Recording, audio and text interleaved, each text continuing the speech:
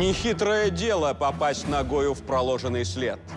Гораздо труднее, но зато и почетнее прокладывать путь самому. Так говорил белорусский писатель Якуб Колос, и он был абсолютно прав. Давайте искать новые пути вместе. Меня зовут Олег Шишкин. В эфире программа «Загадки человечества». Сегодня в программе Модернизация российской армии. Каким станет новое оружие русских солдат? Кто заменит Макарова и Калашникова? Из чего будут стрелять наши снайперы уже завтра? По своим тактико-техническим характеристикам, этот карманный Калашников превосходит все мировые образцы стрелкового оружия. Красиво плыть не запретишь. Американские конструкторы создали электрояхту за полмиллиона долларов. Кто готов приобрести новинку? В чем ее плюсы и минусы? Ты можешь отойти от берега, что-то пошло не так. У тебя нет возможности вернуться. Парк мезозойского периода. Ученые утверждают, что на территории Невадского гейзера Флай можно увидеть нашу планету такой, какой она была в эпоху динозавров. Как удалось этой Земле дожить до наших дней без изменений? И какие тайны она пронесла в своих недрах через миллионы лет? Физика процесса очень простая. То есть это вулканическая деятельность, это жидкость, это вода, это разломы тектонические. Кто убил президента Альенде? Что произошло в Чили 11 сентября 1973 года? Жестокое убийство или суицид? Почему Сальвадора Альенде называют проектом КГБ? И что связывает Аугуста Пиночета со спецслужбами США? Единственный способ помешать мне исполнить волю народа – изрешетить меня пулями. Повстанцы ворвались в его кабинет и застрелили его порядка 13 пуль, что ли, не теле. Похороните меня за плинтусом. Почему людей хоронят заживо? И почему риск проснуться на собственных похоронах есть всегда? Там по ошибке э, похоронили впавшую в кому Октавию Смит. Впоследствии она явилась своему мужу во сне и сообщила ему о том, что он ее закопал живьем. В эфире «Загадки человечества». Смотрите прямо сейчас.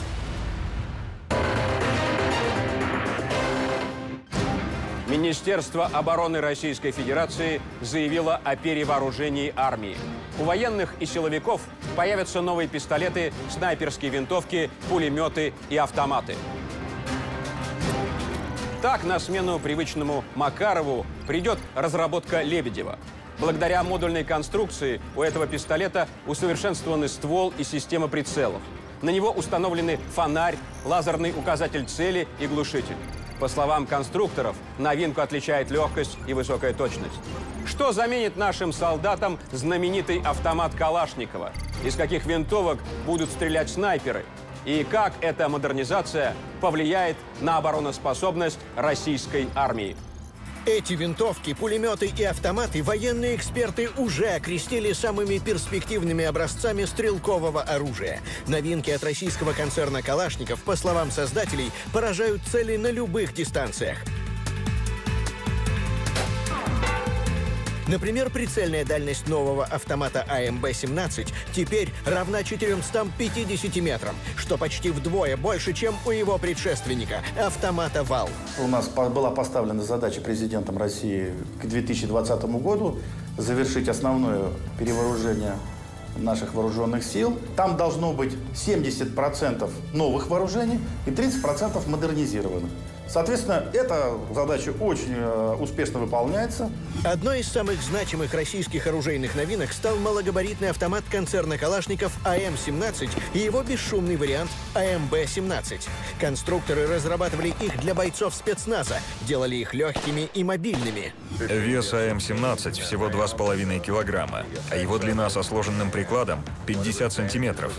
Но по своим тактико-техническим характеристикам этот карманный Калашников превосходит все мировые образцы стрелкового оружия. Уже в начале 2018 года на смену устаревшей винтовки Драгунова придет новая снайперская винтовка Чукавина. Вес СВЧ при любой компоновке остается чуть более 4 килограммов. Но самое главное, она гарантированно поражает цель с расстояния 1200 метров. Среднестатистический снайпер такую винтовку может легко использовать. Это не супер какой-то профессионал, а это солдат, который, может быть, не так давно пришел в ряды вооруженных сил. Ручной пулемет РПК-16 пришел на смену РПК-74, но в отличие от своего предка, он мобильнее и почти в два раза легче. Вес всего 4 килограмма, но при желании у него можно легко заменить ствол и превратить пулемет в штурмовую винтовку. По мнению экспертов, у РПК-16 попросту нет аналогов. У нашей армии наилучший боевой опыт, боевые успехи наилучшие, потому что в Сирии мы показали очень много из того, что удивило Запад. У нас самая высокая динамика по перевооружению. Мы начали перевооружение в 2008 году. И показатели просто удивительные для всех. Только за последние пять лет артиллеристы вооруженных сил получили свыше трех тысяч единиц современных образцов военной техники, что позволило перевооружить более 50 воинских формирований. Сегодня военные аналитики уже не сомневаются. Такими темпами, как Россия, не обновляется никто в мире.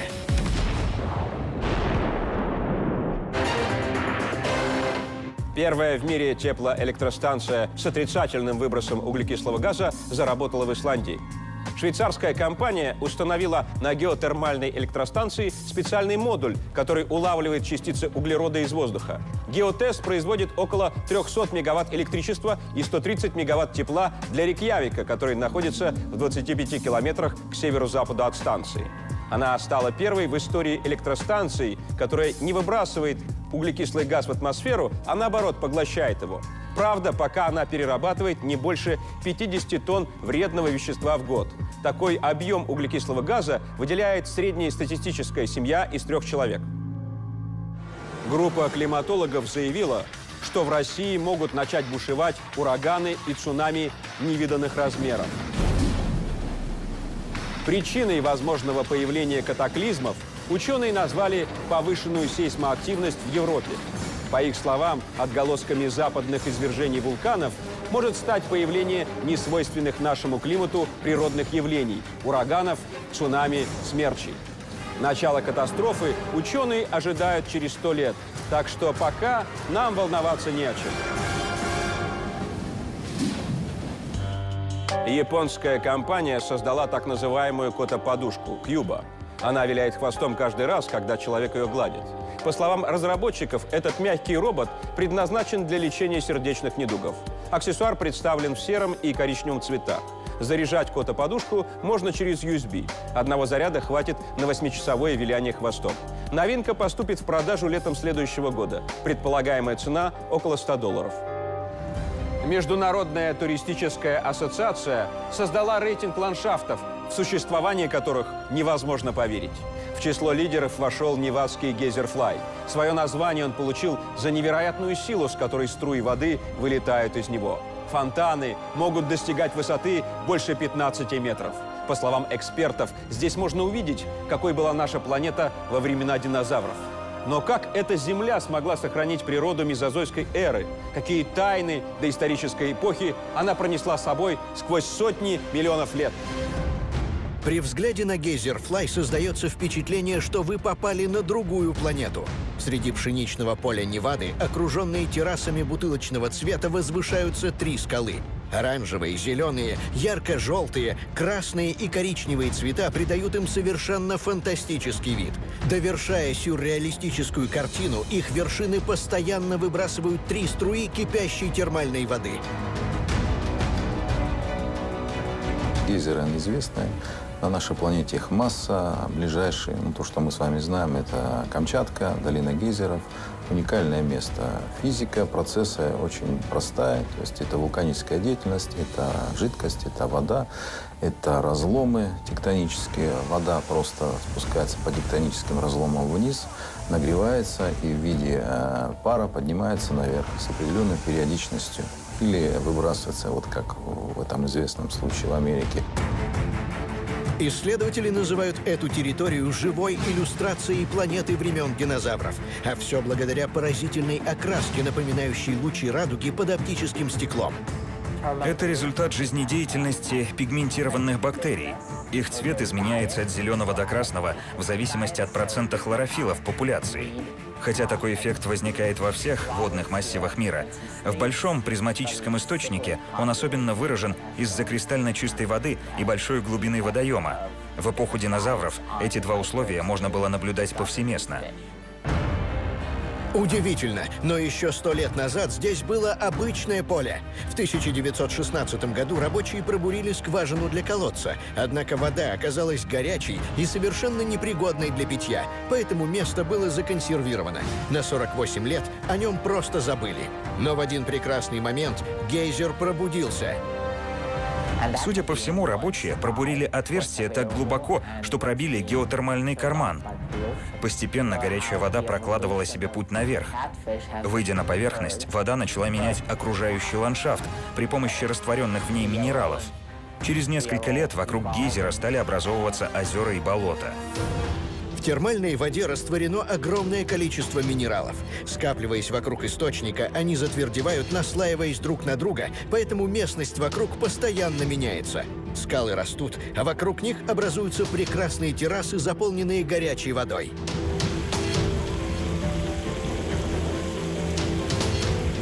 Разноцветную окраску скалам придают цианобактерии. Их еще называют сине-зелеными водорослями. Эти древнейшие микроорганизмы способны к фотосинтезу. Особенно необычен их цвет. Они не окрашены в традиционно зеленые тона. Свое имя Флай гейзер получил по названию частного ранчо, на территории которого он расположен.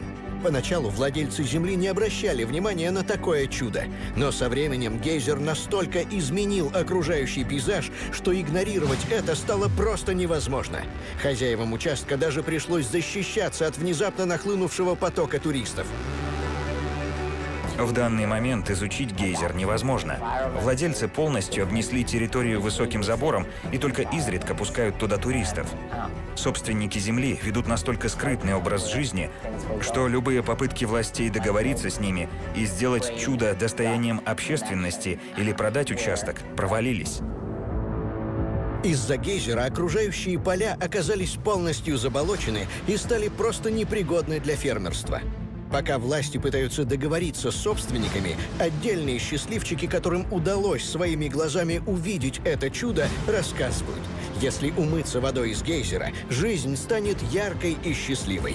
Может быть, этим и объясняется нежелание владельцев делиться с приезжими водами из источника. Далее в программе. Овощи из ЦРУ. Что такое миссия «Артишок» и почему спустя 65 лет вокруг нее возникают споры? Чем занимались спецслужбы в секретных лабораториях? И как эти исследования связаны с современной Россией? Для того, чтобы превратить вооруженные силы стран Варшавского договора просто в обыкновенное животное стадо. Мне бы в небо. Почему экипаж авиалайнера, разбившегося в 72 году, видят на современных рейсах? Что ищут призраки на борту самолетов? А я считаю, что действительно в этом случае имело место либо голограмма, либо что-то сверхъестественное. Папа может все, что угодно. Почему в западном мире мужчины все чаще становятся на женские позиции? И может ли такая смена ролей прижиться в нашей стране? Какой он? Мужчина будущего. Доля физического труда падает. Ее можно дать роботам, а интеллектуальное развитие сейчас стало одинаковое. Кто убил президента Альенде? Что произошло в Чили 11 сентября 1973 года? Жестокое убийство или суицид? Почему Сальвадора Альенде называют проектом КГБ? И что связывает Аугуста Пиночета со спецслужбами США? Единственный способ помешать мне исполнить волю народа – изрешетить меня пулями. Повстанцы ворвали в его кабинет и застрелили его. Порядка 13 пуль, что ли, него теле. В эфире «Загадки человечества». Смотрите прямо сейчас. Вот так выглядит индикаторная лампа для самолета «Тристар». Она загорается, когда авиалайнер выпускает шасси. Точно такая же в 1972 году стала причиной гибели рейса, следовавшего из Нью-Йорка в Майами. Как известно из материалов дела, при подходе к аэропорту самолет выпустил шасси, но лампочка не сработала. Экипаж не мог понять, способен ли самолет приземлиться. На замену лампы у бортинженера просто не хватило времени. Тристар оказался слишком низко для маневра. Самолет упал в болото. 86 человек погибли. Сложно поверить, но с тех пор сотрудники авиакомпании утверждают, что призраки погибших пилотов неоднократно появлялись на рейсах. Но почему они приходят? Как ведут себя на борту? И что нужно сделать, чтобы души погибшего экипажа наконец-то обрели покой? В декабре 1972 года, за три дня до новогодних праздников, в 30 километрах от Майами потерпел крушение авиалайнер «Тристар», вылетевший из Нью-Йорка.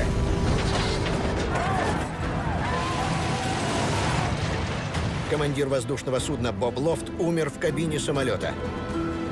Его коллега, борт-инженер Дон Репа, продержался 30 часов, но полученные им травмы оказались несовместимы с жизнью. Через несколько дней после трагедии стюардесса Гинни Паккард летела рейсом номер 318 из Нью-Йорка в Майами. Во время полета девушка на кухне увидела туманный силуэт. Паккард узнала призрака. Это был погибший борт-инженер Дон Репо. Стюардессы, которые навряд ли легко внушаемые и подвержены подобным вещам, они же проходят специальное обучение, подготовку собственно, туда на работу не возьмут неподготовленного человека. А я считаю, что действительно в этом случае э, имело место либо голограмма, либо что-то сверхъестественное. Спустя месяц пассажирка, летевшая этим же рейсом, обратила внимание бортпроводников на своего спящего соседа, мужчину в форме пилота. Невероятно, но позже она опознала в нем капитана разбившегося Тристара, Боба Лофта. Однозначно это списать э, э, на какое-то самовнушение людей, я считаю, что уже было бы неправильно. Не может быть такого, чтобы все абсолютно пассажиры, летевшие одним рейсом, были одинаково легко внушаемы. Слухи о призраках на борту самолета быстро распространялись. Стюардессы отказывались работать на этом рейсе. Пассажиры сдавали билеты. Вице-президент авиакомпании лично поднялся на борт самолета. Позже он рассказывал, что в салоне первого класса увидел умершего Боба Лофта, чей силуэт растворился в воздухе прямо на глазах.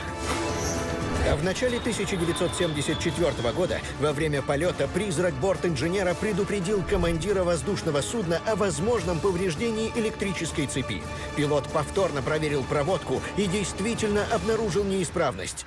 Есть очень редкий призрак, он называется благородный призрак. Он не уходит отсюда для того, чтобы помогать другим людям выжить, помочь довести самолет или помочь потушить пожар – или спасти, помочь какого-то человека, что тоже возможно. Но почему призраки появляются только на борту номер 318? Оказалось, именно на этот лайнер была установлена часть уцелевшего оборудования с разбившегося самолета. По приказу руководства компании все старые детали тут же были сняты и заменены новыми. Вскоре после ремонта призрак Боба Лофта пропал навсегда. Однако погибшего борт-инженера Дона Репо пассажиры встречали по-прежнему. Тогда руководство компании обратилось к медиумам. Единственный способ успокоить призраков погибших людей в авиакатастрофах – это по возможности максимально побеспокоиться о том, чтобы предать тела этих несчастных земле, захоронить их как обычных людей. Марте 1974 года четверо медиумов, супружеские пары Крейг и Чамберс, провели спиритический сеанс и вступили в контакт с душой Дона Репо. Они попросили борт-инженера оставить земной мир и перейти в духовный, и после длительных уговоров он якобы согласился. Так ли это на самом деле, неизвестно. Но именно с этого момента никаких новых упоминаний о привидениях на борту больше не было. Американская компания спроектировала электрическую яхту класса люкс «Дейшер». Эксперты назвали новинку водным «Тесла». По мнению аналитиков, экологическая лодка близка к электрокару не только своей идеей, но и неоправданно высокой ценой. Стоимость Дейшера начинается от полумиллиона долларов. Но даже в случае, если у вас завалялась такая сумма, просто купить в салоне яхту не выйдет.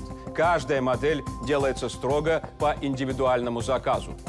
Кто уже прикупил себе дорогостоящую новинку? И насколько безопасна эта электрическая роскошь?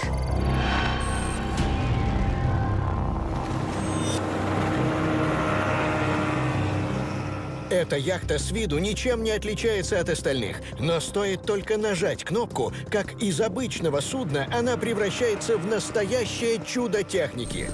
Ах. Вот она, электрическая лодка. На самом деле, я ожидал, что это будет что-то наподобие грибной лодки с электрическим мотором. Оказалось по-другому. Какая же она красивая. Просто шикарно. Длина этого судна чуть более 8 метров, а вес всего лишь около 3 тонн. Это самая легкая яхта в мире.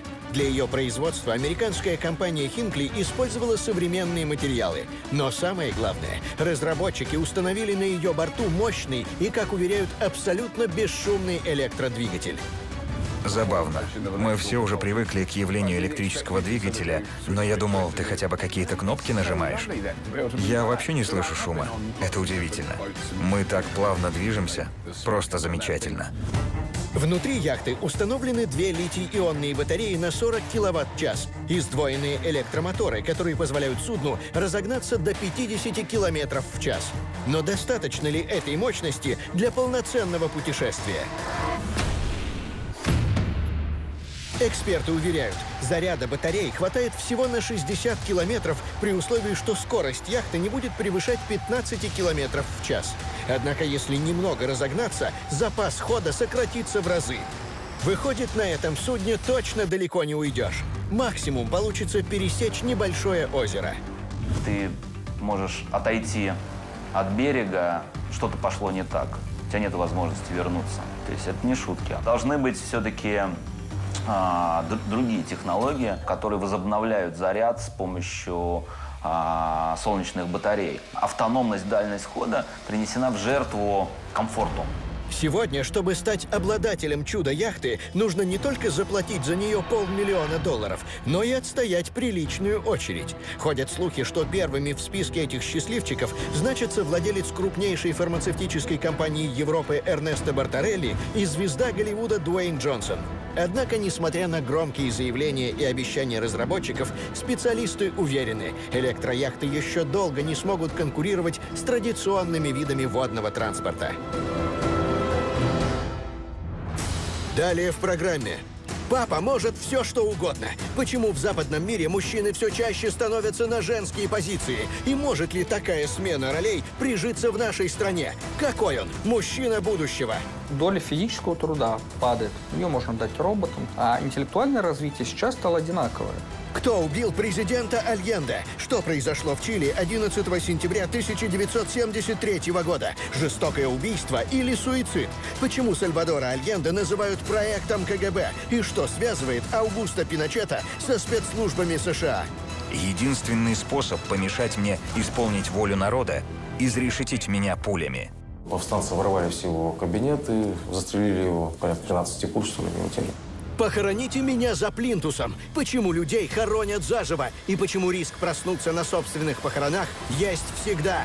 Там по ошибке э, похоронили впавшую в кому Октавию Смит.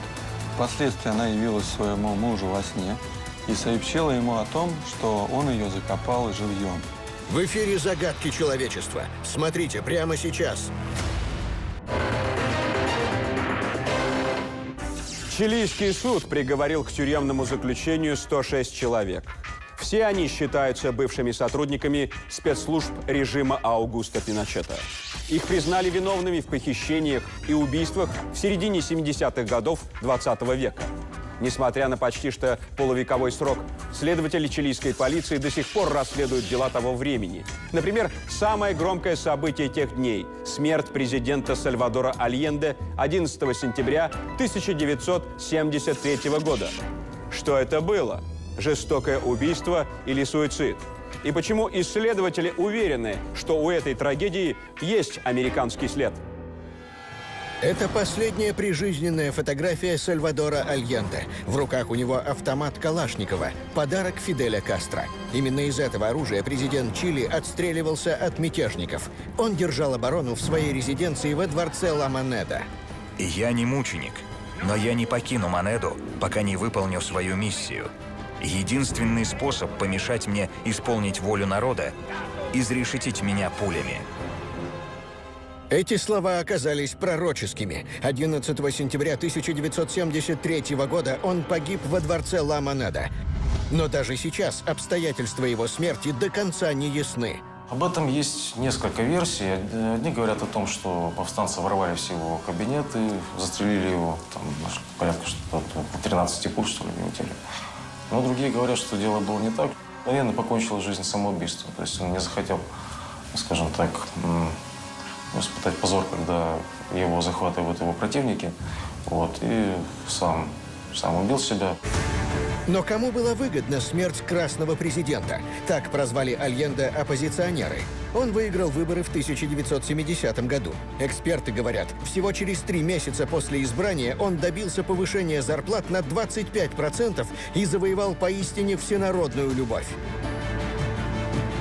Для этого Альенде пришлось национализировать, то есть забрать в собственность государства все крупнейшие частные предприятия страны. А в те годы они практически полностью принадлежали американской элите. По мнению специалистов, именно в тот момент, когда Альенде лишил американцев многомиллиардных доходов, он подписал себе смертный приговор.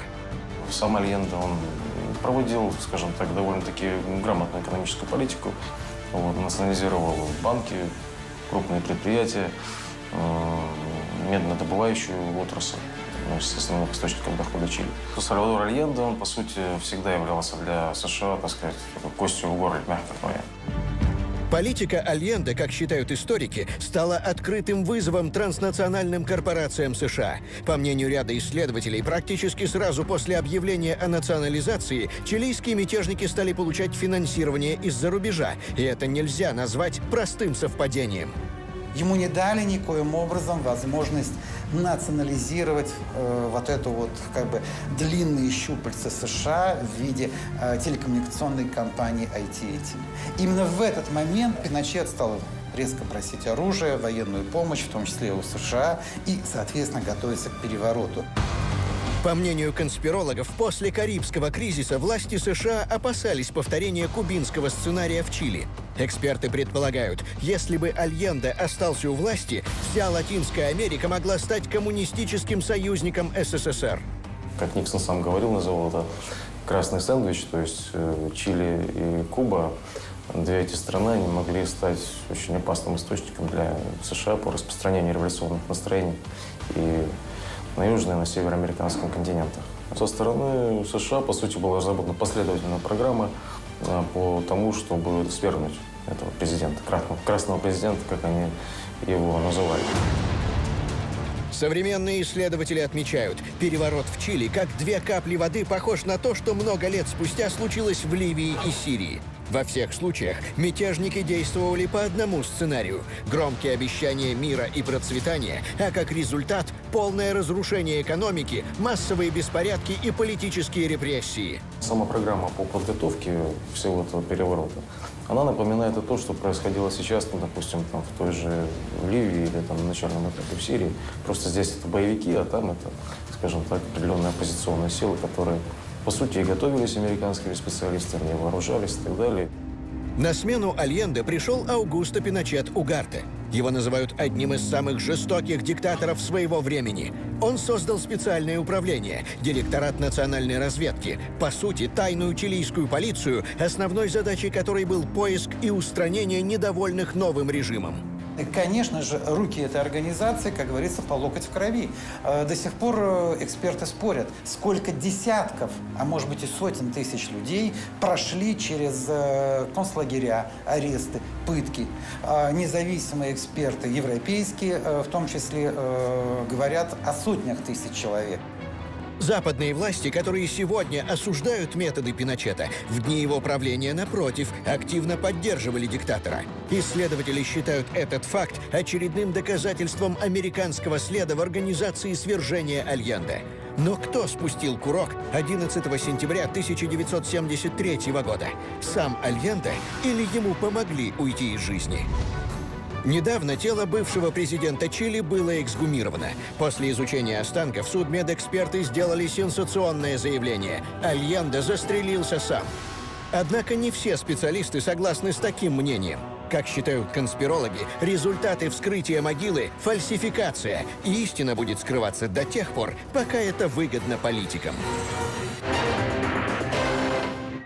Американский женский журнал опубликовал эссе экс-президента США Барака Обамы под названием Так выглядит феминист.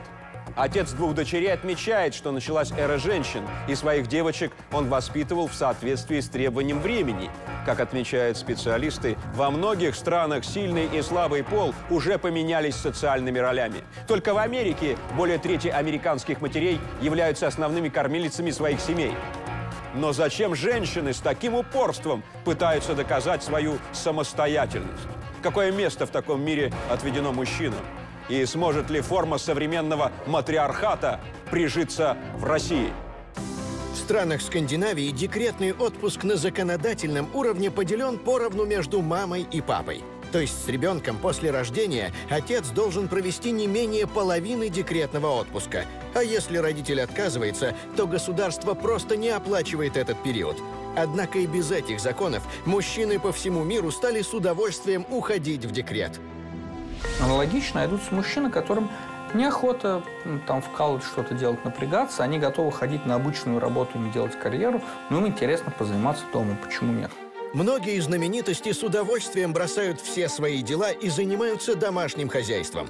Марк Цукерберг ушел в декретный отпуск на два месяца. Джастин Тимберлейк на полгода. Даже принц Уильям брал декретный отпуск на несколько недель после рождения детей. В некоторых странах женщины до трети набрали главенство. Неужели мужчины добровольно готовы взять на себя женские обязанности? Крупная исследовательская организация Чимтраст обнаружила целый ряд химических соединений, которые способны феминизировать мужчин. Они нарушают работу мужской эндокринной системы, в результате чего у представителей сильного пола возрастает доля женских гормонов. Оказывается, эти вещества содержатся в большинстве привычных продуктов – косметики и бытовой химии. Может, поэтому мужчины по всему миру все больше начинают напоминать женщин не только внешне, но и поведением. Мужчины превращаются в женщин, действительно. То есть ну, даже если посмотреть чисто визуально, да, слава богу, эпоха метросексуалов приходит к концу, потому что это путь в никуда. Когда у мужчины больше баночек в ванной, чем у его женщины, на самом деле, вот меня это напрягает. Сегодня в моем блоге я расскажу о ежедневном макияже для мужчин. По мнению ученых, эмансипация женщин в развитых странах повернула мужскую эволюцию в обратную сторону. Работодатели все чаще отдают предпочтение женщинам. Рекрутеры считают, они более исполнительны и ответственны. Это уже привело к тому, что в Западной Европе и Америке в течение многих лет мужская безработица в несколько раз превышает женскую. Но дело тут не только в экономической составляющей. Мужчины и женщины, очевидно, разные. Никто не лучше, не хуже, но разные и лучше приспособлены к разной деятельности. Соответственно, люди специализировались по мере своих возможностей. Эволюция развивается. Постепенно доля физического труда падает. Ее можно дать роботам. А интеллектуальное развитие сейчас стало одинаковое. Современные СМИ разрушают традиционный образ мужчины. Модельеры перестали делить моду на мужскую и женскую. Мужские юбки, став трендом среди селебрити, пошли в народ. Исследователи проекта Generation What заявили, в развитых странах традиционные роли мужчины и женщины уже поменялись на 70%. Это привело к тому, что большинство молодых людей социально дезориентированы. Потребности мужчин все чаще напоминают традиционные женские. Я парень, и я пользуюсь косметикой. Я делаю макияж. И я ненавижу дискриминацию. Я не понимаю, почему считается, что свои недостатки внешности могут корректировать только представители одного пола. Это несправедливо. Мужчины, они как бы теряют свои основные функции, и они, в общем-то, становятся, как бы, получается, придатком к женщине, которая превращается в такую самодостаточную единицу. Она и женщина, она и мужчина. Мужчина, в принципе, становится не нужен. Самое страшное, что если в обществе поселяется такая мысль, что что-то не нужно, да, то оно начинает отмирать. В связи с этим возросла доля психических расстройств у подростков.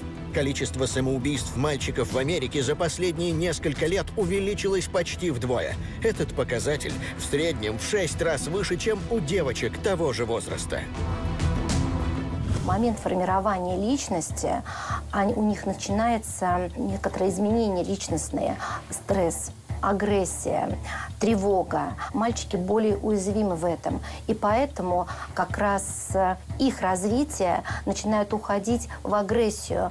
А как, как защитная реакция – это алкоголь, это наркотики, это инфантилизм, когда они просто-напросто перестают участвовать в активной жизни страны. Получается, чем сильнее становятся женщины, тем слабее будут мужчины. Это известный закон, ведь мужчина и женщина должны дополнять друг друга. Сейчас в Европе многие дамы считают оскорблением, когда мужчина придерживает дверь или предлагает свою помощь, например, донести тяжелую коробку.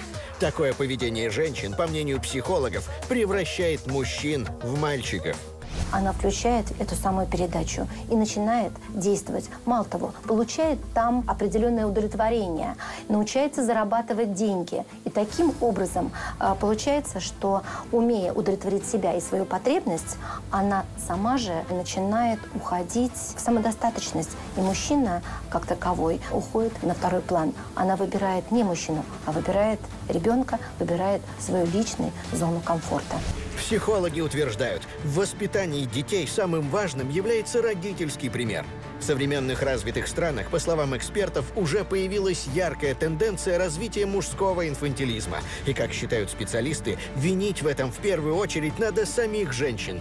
Зачем мужчинам ходить на работу, забивать гвозди, зарабатывать деньги или копать картошку, если все это за них с удовольствием делают женщины? В Индии 17-летний Кумар Мривади ожил во время своих похорон. Он открыл глаза и начал двигать руками и ногами. Как сообщают местные СМИ, после инцидента юноша чувствует себя здоровым. Однако далеко не всем заживо похороненным удается очнуться до того, как их закопают. По статистике, в Европе в 19 веке каждого десятого хоронили еще живым.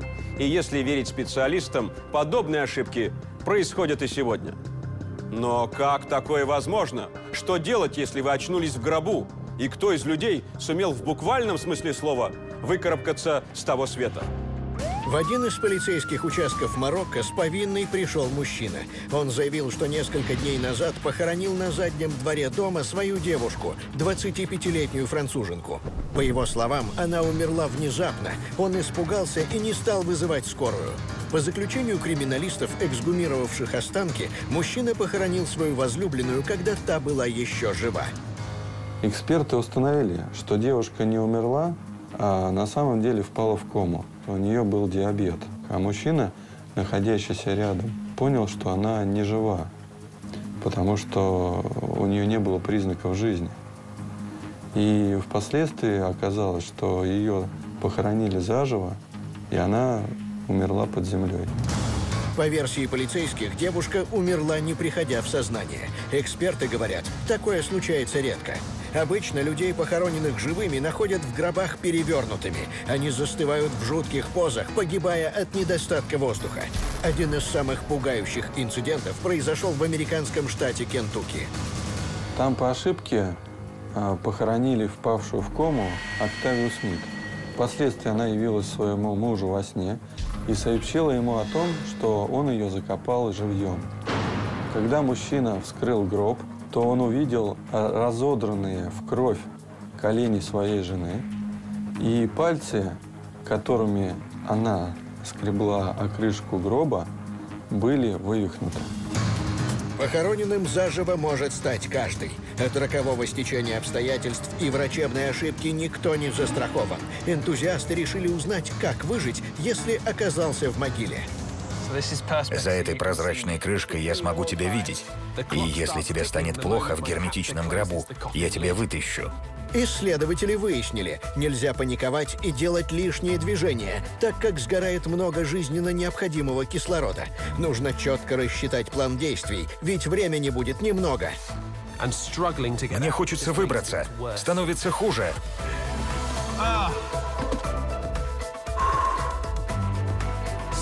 Если бы тебя действительно закопали, у тебя был бы только один час, чтобы выбраться. Потом кислород закончится. Перед тем, как начать выбираться из гроба, эксперты советуют закрыть лицо тканью, чтобы почва не забила дыхательные пути, а затем пробить маленькую дыру в крышке и начать перекидывать землю оттуда к себе в ноги. Теоретически, таким образом можно выбраться. Эксперты пришли к неутешительному выводу. Шансы выбраться из могилы минимальны. Криминалисты заявляют, случаи захоронения живых людей до сих пор происходят по всему миру. По их мнению, виноваты медики, которые из-за невнимательности не могут отличить настоящую смерть от тяжелой комы. Если э, тяжелая кома, то у человека может э, замедляться сердцебиение, но оно все равно есть. То есть если послушать ну, стетоскопом, да, то оно есть. Может практически быть неуловимым дыхание, но оно тоже будет. По словам врачей, человек может впасть в кому из-за инфекции при травме головы, а также от сильного истощения. Сами же медики выдвинули новую гипотезу, что мешает им решить, куда отправить пациента – в морг или реанимацию. Анализы эксгумированных тел заживо похороненных людей показали, что в их клетках содержится определенный вирус неизвестной природы. Специалисты считают, что именно этот вирус э, является причиной тяжелой комы. И поэтому медики не могут сразу определить, жив человек или мертв. Ряд экспертов предположил, эта инфекция была разработана еще в период Холодной войны в американских лабораториях. Действительно, если верить статистике, наибольший процент похороненных заживо именно в США. Исследователи предполагают, что опасный вирус мог попасть в окружающую среду. Эксперты назвали американцев подопытными кроликами спецслужб. С момента рассекречивания ЦРУ своих архивов споры вокруг антигуманных опытов над людьми, которыми не брезговало агентство, не утихают до сих пор. Одной из самых скандальных, по мнению экспертов, стала так называемая операция «Артишок». С помощью воздействия психотропных препаратов ученые пытались создать идеальных солдат. Жертвами экспериментов стали сотни человек. Каких результатов удалось добиться исследователям?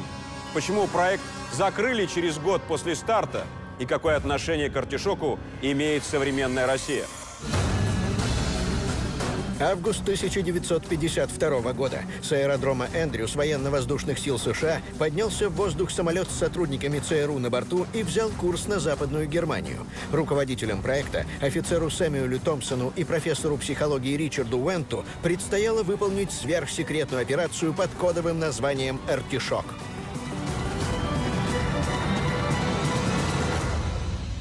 Германия была выбрана не случайно, как проект для реализации данной операции. А, в случае, если бы данная операция была вскрыта, то представители а, Центрального разведывательного управления Соединенных Штатов, ЦРУ, а, либо другие высокопоставленные чиновники Соединенных Штатов могли бы просто-напросто сказать, что испытания проводились на территории другого государства, и граждане Соединенных Штатов не пострадали. Подальше от Америки, поближе к Советскому Союзу. Главной целью операции была разработка психотропного оружия. В ЦРУ верили, что любого человека можно превратить в биоробота и собирались это доказать. Для чего это было нужно оружие? Для того, чтобы направить его против стран Варшавского договора, в данном случае против СССР, для того, чтобы превратить вооруженные силы стран Варшавского договора просто в обыкновенное животное стадо. Именно тогда началась так называемый оборот в Германии. Одной из задач агентов было создание эликсира правды. Работу над препаратом профессор Уэнт начал задолго до старта операции. В ход шли различные наркотики, действия которых доктор проверял на себе.